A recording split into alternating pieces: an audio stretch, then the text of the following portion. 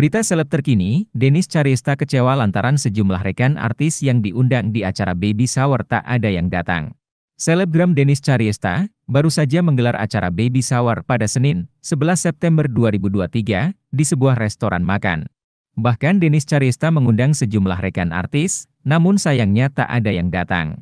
Selebgram kontroversial ini mengaku mengundang banyak artis, mulai dari Nikita Mirzani, Atta Halilintar, Denny Sumargo, Dewi Persik, hingga Asanti.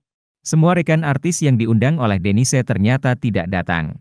Semua diundang tapi gak datang, balas juga kagak, ucap Denise Cariesta, dilansir dari YouTube Intense Investigasi, Selasa, 12 September 2023.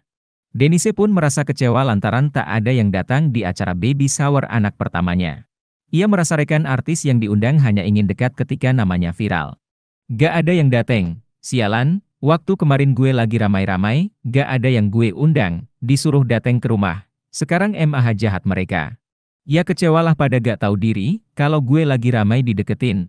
Kalau misalnya nama gue lagi jelek aja dijauh-jauhin, ungkap Denise Cariesta.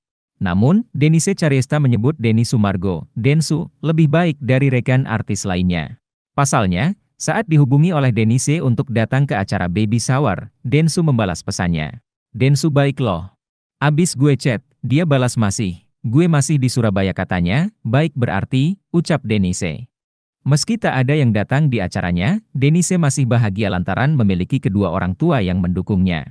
Gak apa-apa siraman gak ada suami, yang penting ada emak bapak gue yang tulus selalu sayang ama gue dan selalu support gue di setiap keadaan, tulis Denise Cariesta.